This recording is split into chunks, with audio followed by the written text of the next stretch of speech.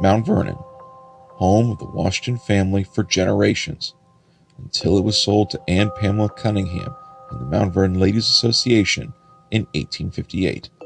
History records Anne Fairfax leased the property to George Washington after his older half brother Lawrence passed away. But what if someone else was meant to inherit their property? When a descendant of a supposed heir comes forward and dies at the tomb, it is up to Archibald Mercer and his descendant, Cam Mercer, to prove the legitimacy of the story. Featuring Bushrod Washington, Lawrence Lewis, Nellie Custis, with special guest stars Martha Washington and George Washington in The Washington Heir, now available on Amazon.com.